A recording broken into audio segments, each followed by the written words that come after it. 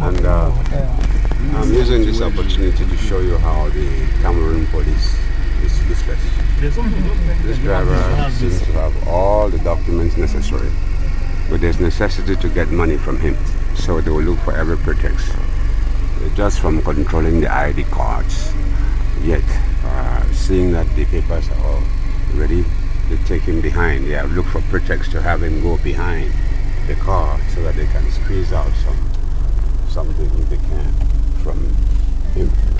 So you see, the control is there behind. That's what they are doing. All of that is just to see how they can earn a franc or two. And you call that uh, rigor and moralization. You see, what are they doing here?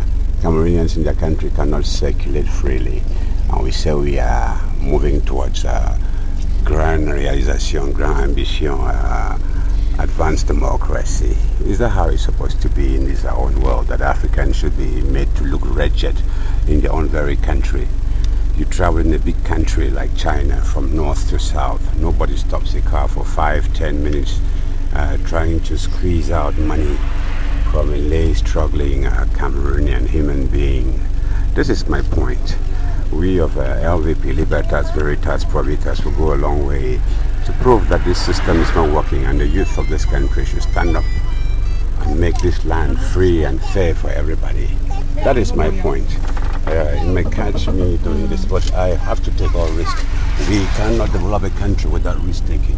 So what it takes for me to show this, I will be able to do all I can to be able to prove that our country is rotten. Rotten, really. Human rights never respect. This is Patrick Sianne doing all he can to show that this world is not the way it's supposed to be. One day things must really change. Talking here in Ekona. Ekona, here we are.